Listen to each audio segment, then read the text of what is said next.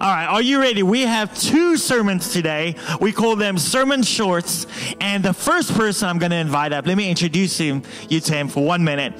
Dave Bryant is what I call the man. Dave Bryant is the man. Dave, Davey serve on the eldership team with us.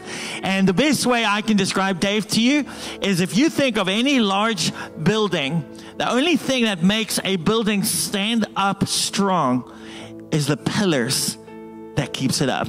That's how I describe Dave. From the first time I met him, I just felt this is a man of stature. This is a man of strength. This is a man of integrity. And it's such a pleasure to have him on our eldership team. And uh, could you stand up with me, please, as we welcome Dave Bryant?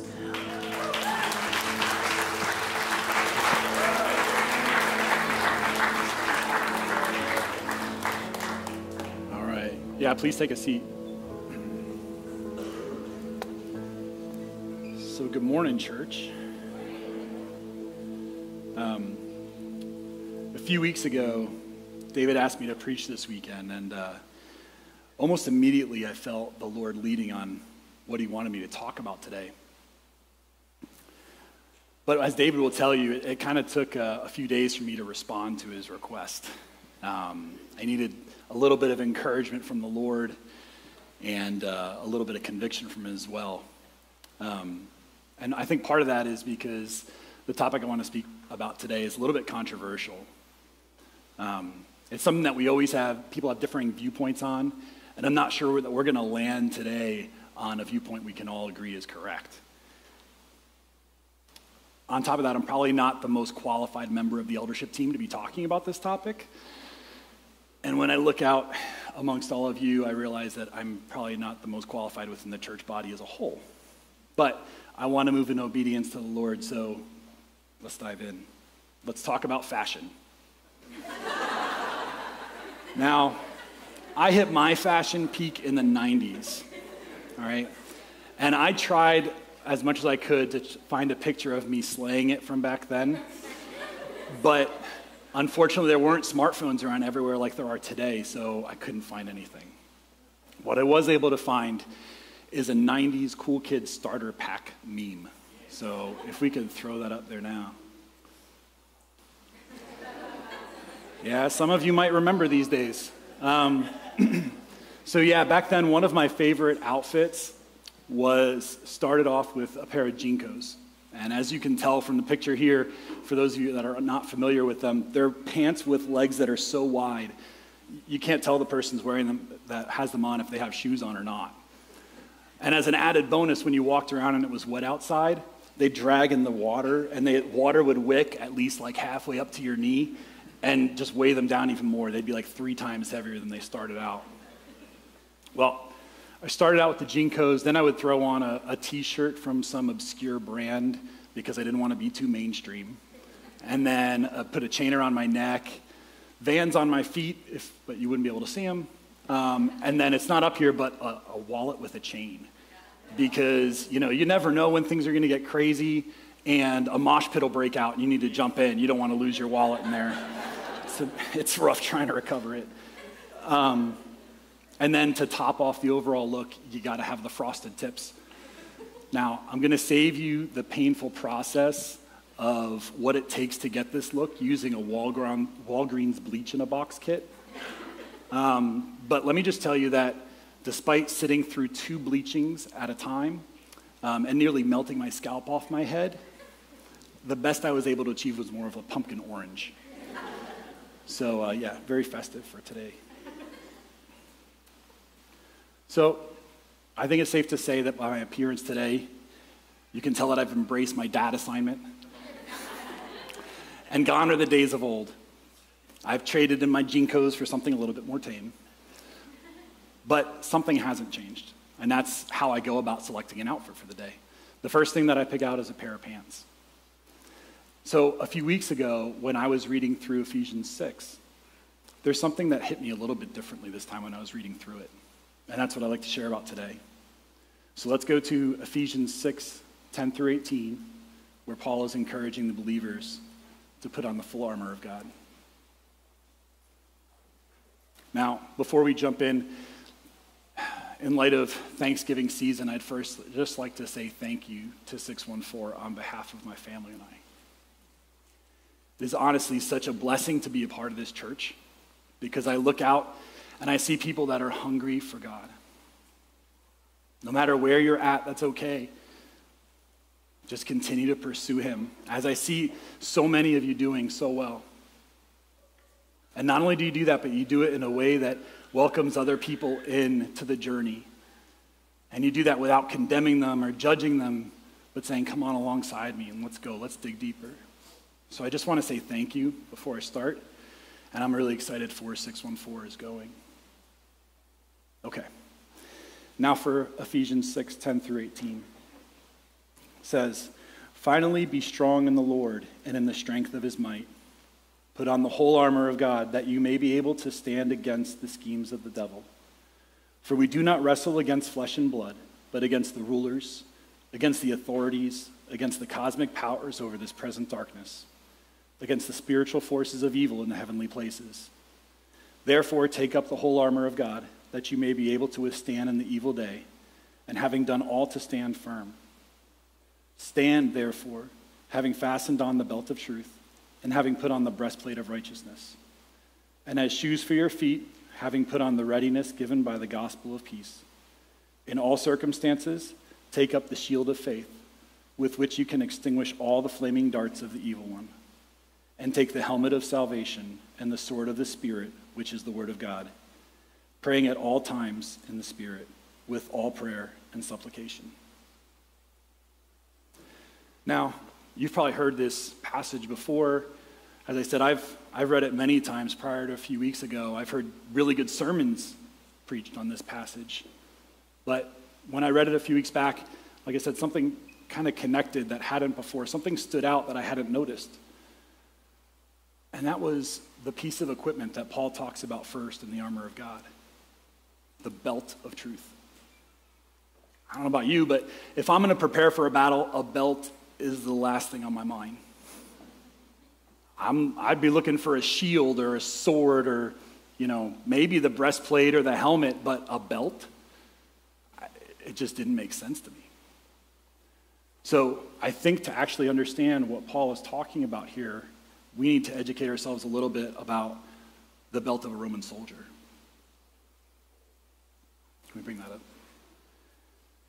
So now, in the time that Paul wrote the letter to the Ephesians, which was about 60 AD, the belt was known as the Balteus. I think I'm saying that right. My, my daughter who knows Latin is telling me that that's about right. um, the Balteus not only provided a place for the Roman soldier to attach a dagger and their sword, but it also held up their tunic. Right? Romans didn't wear pants back then, they wore tunics that if they just laid as they would, they would extend down below the soldier's knees. You can imagine that that's fine when they're walking around, but when you're going into battle and you need to be able to run or move or get out of the way or dodge an attack, having something hanging below your knees like that is going to be pretty restrictive.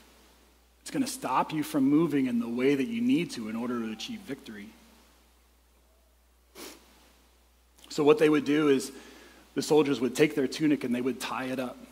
They would tie it up into their belt. This brought the fabric up above their knees and allowed them to move freely. They could run, they could dodge, they could react to an attack. And I think this is the first point that we can take away from this message. Just like the Balteus allows the soldier to move in freedom, the belt of truth is for our freedom.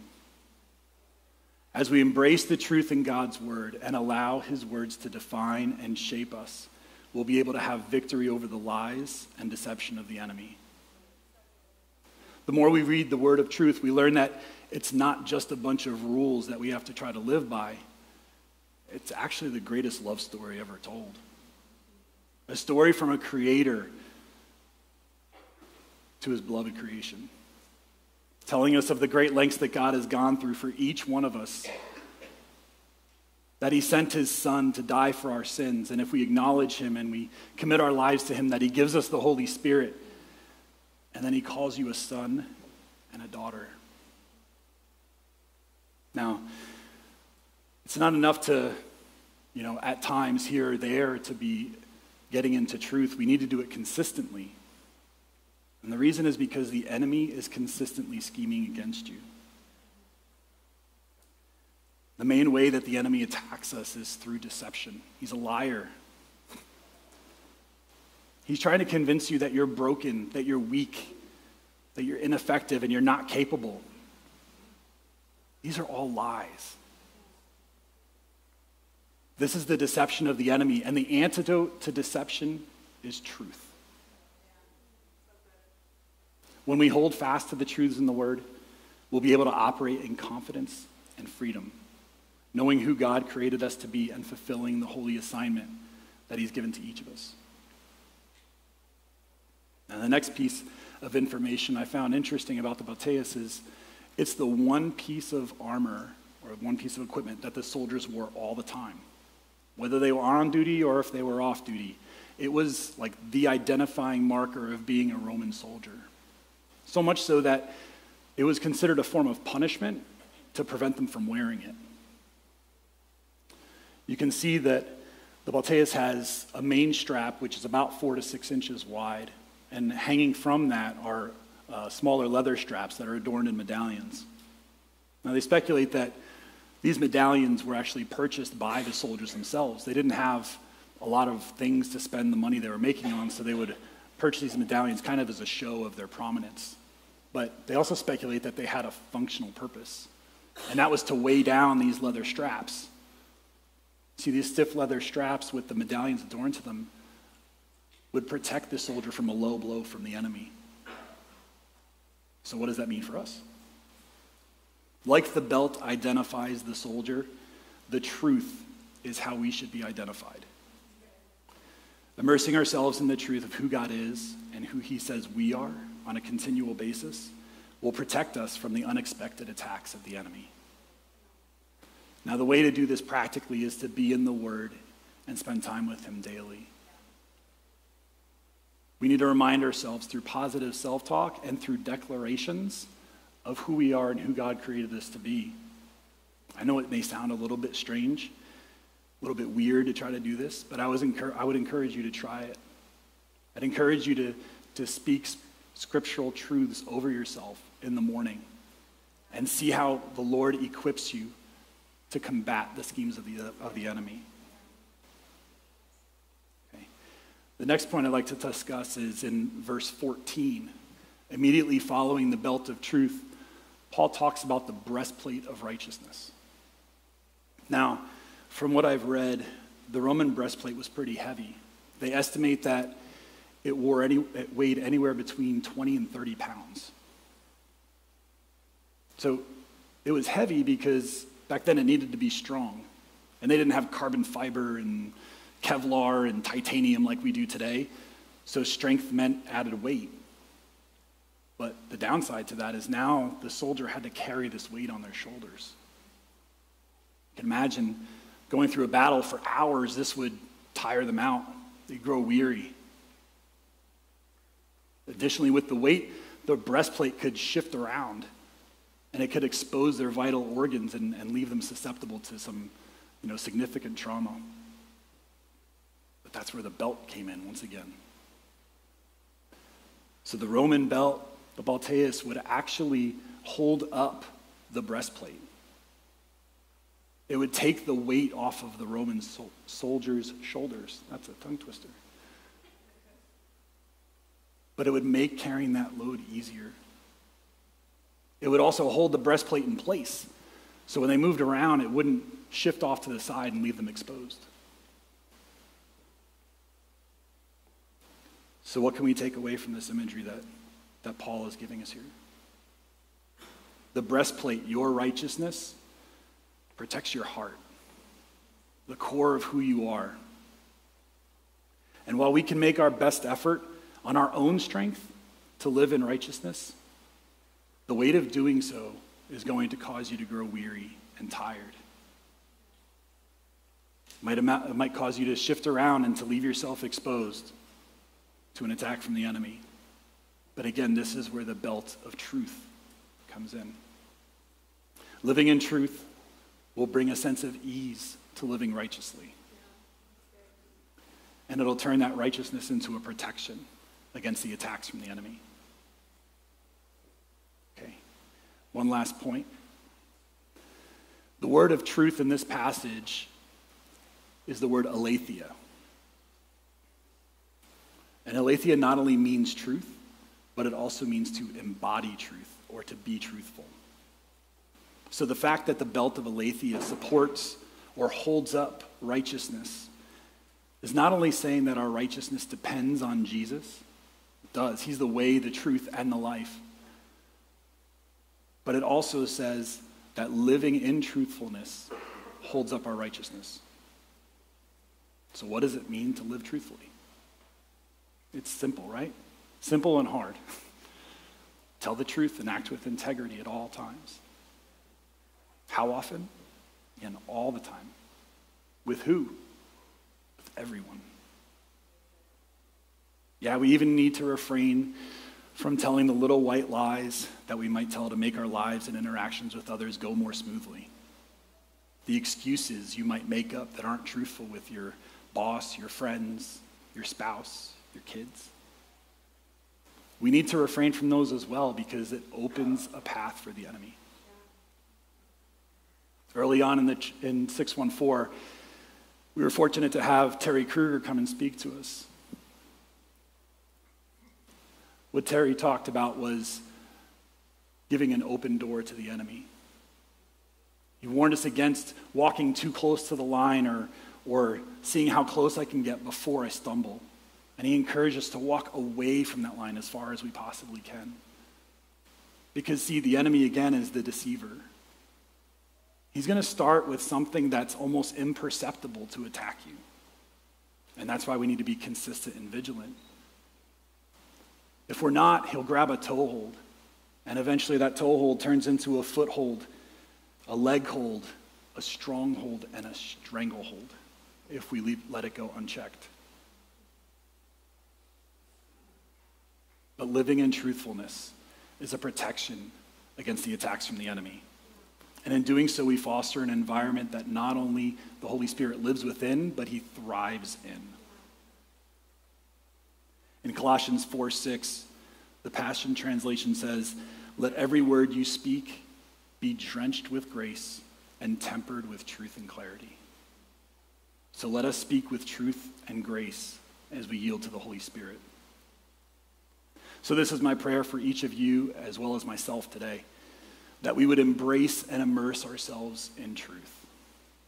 That we would allow God's word to penetrate the lies that we believe about ourselves. So that we'll not only discover more clearly who God is, but we'll also discover the person he created us to be. Walking in freedom and fulfilling what he's called us to do.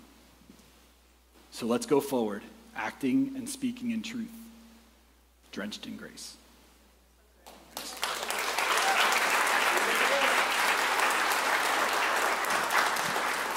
I'm going to ask.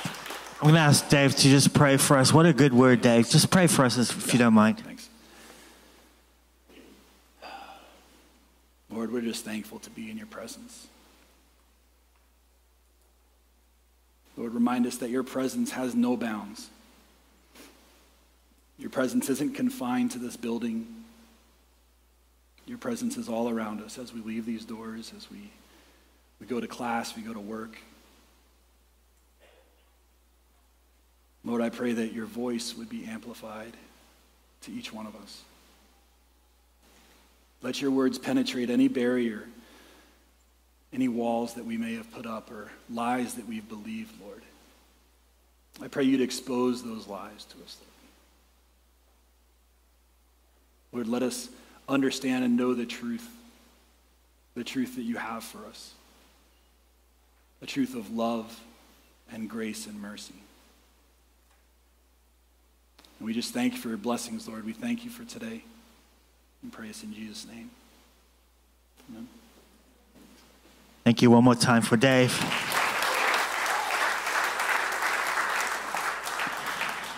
As I said, we have two sermons today, and as these guys uh, switch over the mic, let me just take a moment to introduce you to our next speaker today. His name is Bryan Popa. Anyone know Bryan? Okay. To know Bryan is to love Bryan. That's the way I like to say it. And his jokes, which are always on point. Uh, Bryan and Amanda joined our church literally uh, within two months of it being started nine years ago. And it's been such a pleasure to walk a long road with the, the Popa family. There's a special place in heaven for people with four kids. And so they have joined us uh, in that place in heaven with four kids. It's very quiet in that por- portion of heaven. It's wonderful.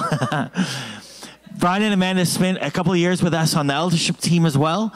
Um, and a few years ago, felt their season was done. And I would just like to take a moment to, to publicly honor them for their time of serving with us on the team. But even more importantly, when you step down from a team like that, often it could be like, oh, where's my place now? I don't know what to do. Having that level of visibility. Just want to honor them for staying with us, walking this journey with us, and uh, leading life group guest services, finance team, preaching now. They're here, they're there, they're everywhere. Can we put it, let's stand together and just uh, welcome Bryan Popa. Awesome. Thank you. Awesome. Good stuff. Appreciate that. Thanks, Dave. Uh, you guys can take your seat. Thanks so much.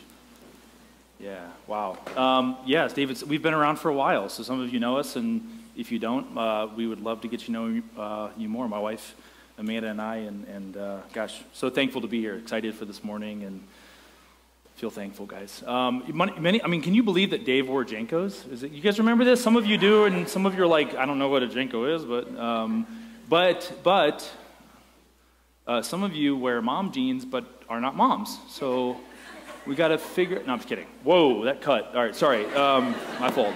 Don't go there. That was a new one. For those of you here this morning, that was a fresh joke. That was free. Um, just kidding. All good.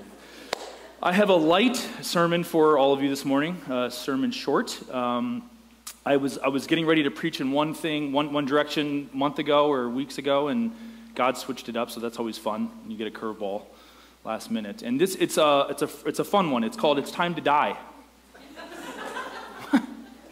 No, I'm for real. Uh, buckle up. So it sounds like a James Bond title. When I was like th- thinking up, it's time to die, Bond.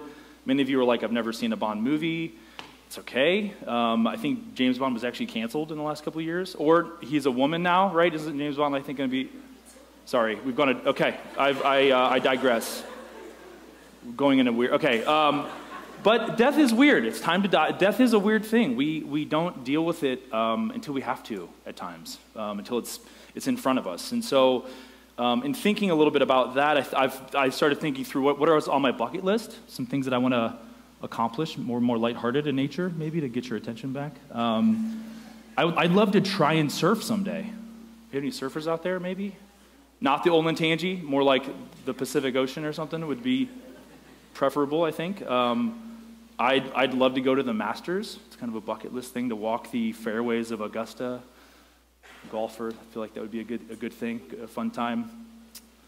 I, I would love to go to a, a, a Liverpool soccer match, football match, in at Anfield. It's a big deal over in Liverpool. And guys, I will be in the stadium a week from today. How about that? Be pretty fun. So excited for what is uh, around the corner. Get to uh, head over uh, across the pond here, uh, here, here in the next couple days, which is cool. So, uh, two, two fears of mine as I think through death as well. One of them not rational, the other, uh, yeah, probably perhaps more rational. The first one is dying young. Uh, I think about like the impact of that. I think about um, not being there for my kids and the reality. I don't, I don't think it's real. I don't think, I, I think that fear that I've dealt with over the course of time is not from the Lord, obviously. I think it's, it's something that creeps in and not crippling, but um, gets my attention, and I have to like speak truth into my life and preach to myself in that. Um, I think about dying old as a fear, and but wasting my life in that. You get you get to a point in life and you go, man, what what happened for the last ten years or twenty years, kind of thing, right?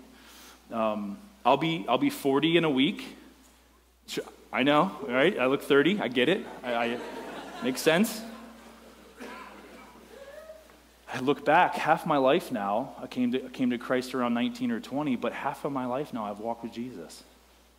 Man, I think about um, what, what really has been the impact. What's really been in, a, a, affected, right? What has shifted in the kingdom because of my pursuit of Jesus over two decades? I'm reading a book called The Intentional Father right now. Jon Tyson, awesome book. Um, one exercise that, that is outlined in, in the book is to think through what you'd want spoken at your funeral.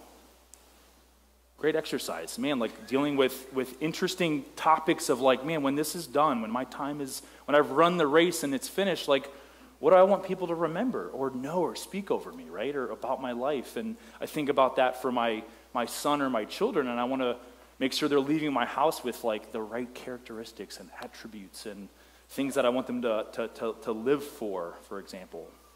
So I've been thinking about and reflecting on what really matters. You know, what, what am I living for? What, what outcome am I pursuing? And if, and if God and, and my marriage and my family and my church and, and even caring for this world, the, the lost and the broken, if, if these things are the most important, and I think having a priority is, is really important in, in looking at that, like does, does my, my week reflect what is most important. And I'm realizing that in this reflection and, thinking through, I'm realizing that doing your best for Jesus and emulating his example and flexing our spiritual muscles and clenching our fist ready for battle, it's not it. What do you think about this? What do you think about this, this concept or difference between living for Jesus and, and Jesus living through us. And the difference, the, the shift in our mind, perhaps. Jesus, uh, sorry, Jesus, David, Jesus. Uh, David preached last week. I, I mess that up all the time. It's so funny. Um, hilarious. It's good. David, David preached last week uh, in Ephesians 3 on spiritual uh, strength he, he, he talked about uh, being filled with the fullness of God, to know the love of Christ that surpasses all understanding. He hit on a, a surrendering concept, an approach of humility with the Lord, a posturing that I think fits really well. So I'd like to take that a step further for us this morning. If we can pull out Luke 11, if you, if you got your Bible, there'll be a passage up on the screen here in a second. We'll look at Luke 9, 23 and 24, setting the stage of just the chapter as a whole here um, Jesus is sending out the apostles, not, not disciples, but apostles. And their mission is to go out and to um, set the demonic free, to heal the sick, to preach the good news. They come back and they're astonished. They can't believe what's occurred. It's, they've, they've done what Jesus said they would do. They kind of laid down maybe what they thought, and they picked up, and, and God moved through them. They return. Jesus feeds the 5,000. The disciples are still in doubt of who's going to provide food for that meal, if you guys remember the story. Um, they struggle again to kind of uh, connect the dots or have the right faith for what God's going to do. Jesus, uh, excuse me, um, Peter then confesses that Christ is God. It's starting to click with Peter a little bit more. Jesus foretells his death, his coming death, and, and then says this in Luke 9 23 24, Passion Translation. Dave and I are on the same Passion boat thread this morning, so that's cool. I'm more of an ESVer, but just bear with me, okay? I'm not passion here. Um, Jesus said to all his followers, If you truly desire to be my disciple, you must disown your life completely. Easy. Um, embrace my cross as your own and surrender to my ways, for if you choose self sacrifice, giving up your lives for my glory, you will discover true life. But if you choose to keep your lives for yourselves, you will lose what you tried to keep. Deny yourself, dis- disown yourself, as, as, this, as this translation says. It's kind of like, it's kind of lame, right? More like live for ourselves, right? Isn't that the, isn't that the mentality, right? I think, I think that this, you know, it's in this, in this I, I don't know if there's a, a, um, a concept that goes more against our culture or against you know the grain of, of denying yourself. It's really about how do i get ahead? What's in it for me? How can i earn? How can i how can i build and acquire more? How can i look good? The bible's funny though. Jesus his words he, he says things like the first will be the last and the last will be the first. In Luke 9, if you want to save your life, you'll lose it. But whoever loses their life for Christ will save it. The scriptures tell us we must deny or die to ourselves in order that we would actually live. So, my proposition here, well, not mine exactly, but it's, it's time to die. Back to the James Bond title here. It's, it's, it's time to die. It's time to repent, to follow and allow God through his Spirit to fill us, to equip us, to empower us. Ephesians 2, a month or two back, we heard from Dave that it's by grace you've been saved through faith and not of your own doing. It's a gift of God. Yes and amen, right? Can't earn this. This is purely a gift. It's, it's the blood of Jesus, it's his, his life, his death, his resurrection. Absolutely. And the Bible's funny, though. Jesus' words are funny. Listen to this. Luke, Luke 14, he's talking about counting the cost of following. It's going to cost you your life, perhaps. Free gift, yes, but receiving it, count the cost. He talks about in Luke 14, he says, if you're going to build a tower, what's it going to cost you to finish it? If there's a king going to battle with 10,000 soldiers and you're going up against 20,000, you better, better count the cost of what's going to happen at the end, right? Guys, there's over 2 billion Christians in the world today. Amen. This is beautiful. The church is exploding and growing now more than ever before. This didn't happen by 120 Jewish men and women being good Christians, trying, trying their best. They decided to take up their cross, to be obedient. To live is Christ and to die is gain.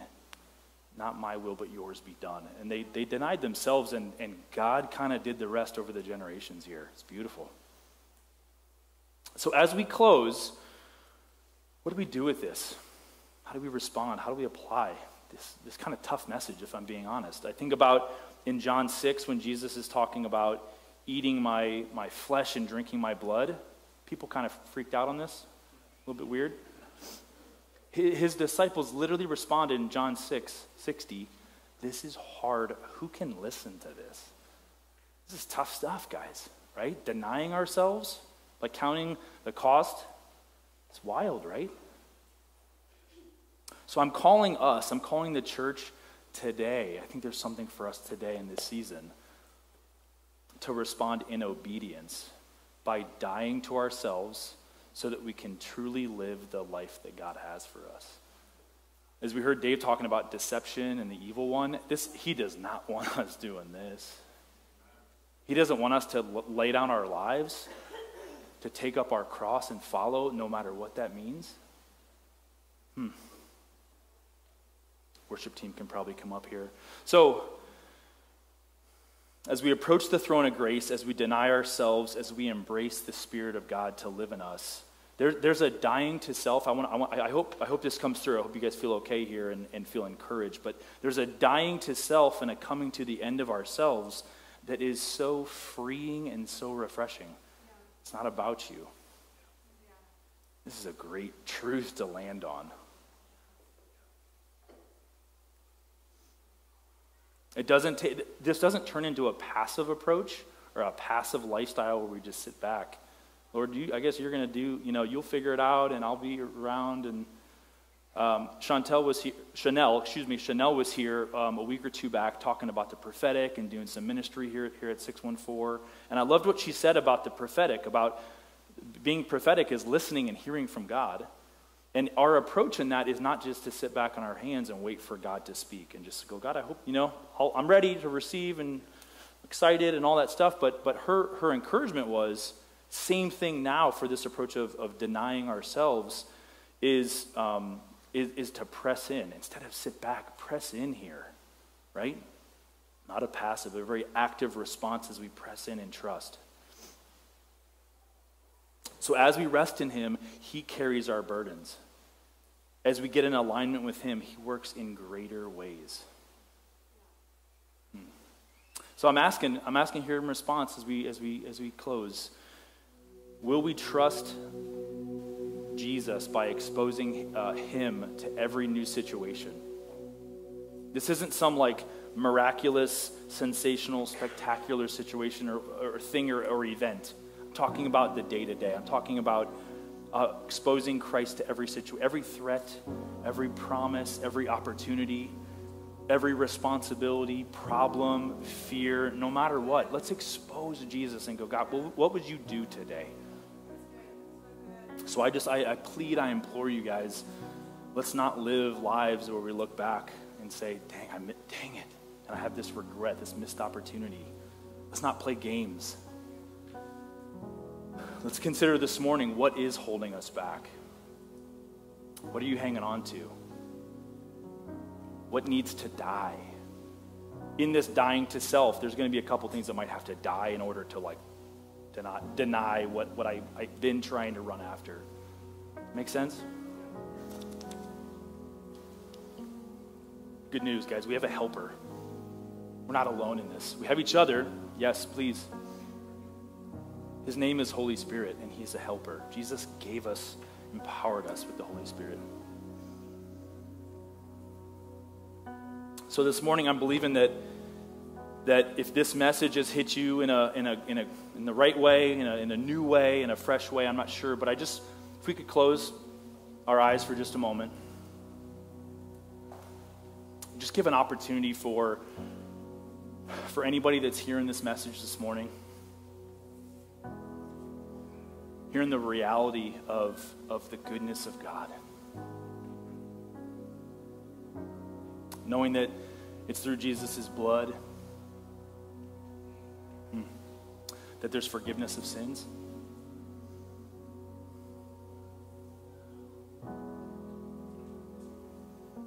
Hmm. And if this is if this has hit you the right way, and this is your first time where you thought, you know what, I I've, I don't know if I'm all in. I don't know if I've ever confessed with my mouth or believed in my heart that Jesus is Lord. I, I, gosh, I think today's the day, and I would encourage you, today is a great day. So, all eyes closed. Your Lord, if, if there's anybody here, if you just slip your hand up, we'd love to know. We'd love to pray with you guys. We'd love to be aware. Oh, thank you. Yep. If there's anybody there that wants to respond, just say, God, I'm tired. I've been trying a lot. I'm weary, stuck. Man, I'm going through stuff, but I just, God, I want to receive all that you have for me. If there's anybody there, just slip up your hand. Yeah. Awesome. Man. Welcome. Man. Lord, we just pray for, for the people that are responding in faith. We pray that you'd seal today, that today would be a, gosh, a, a different day for them. This isn't about signing up for 614, some club, some it's not what this is about. It's about about calling out and saying, God, I need you and I love you. I appreciate the, the fact that you love me first. Hmm. Just pray you'd stir in these folks this morning, God. You know who they are. You know their stories. We bless them in Jesus' name. The rest of us, as we close here, the opportunity is, is I don't want to say it's a, a, turning point or a crossroads, but guys, this is a, a, a morning to respond to God's word. And it's, it might be hard.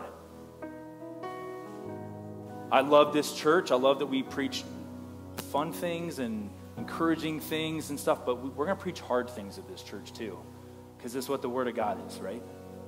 So, how, what do we do? How do we, how do we move forward? And so, I just want to ask that we would reflect as I close, as, as Dave comes back up, just to think through, and I believe this is for all of us, a, a, a genuine stirring that God has, and there's a greater calling for a deeper relationship, for a deeper intimacy with Him. And so let's press into whatever that means this morning here. Let's. Res- I think there's something about responding, guys. I think there's something about let me get out of my chair. Let me take a step forward. Let me get down on my knees for just a minute. But there's something when we respond and say, God, I'm going to just trust and take a step and move in and believe that you're going to work. Love you, church. Thanks for this morning.